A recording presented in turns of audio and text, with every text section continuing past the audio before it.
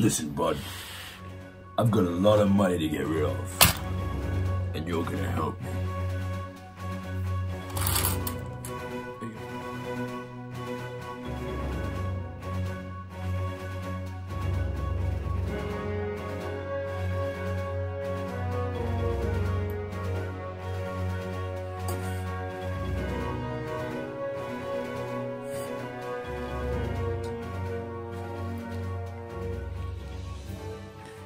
Well, I know this bloke.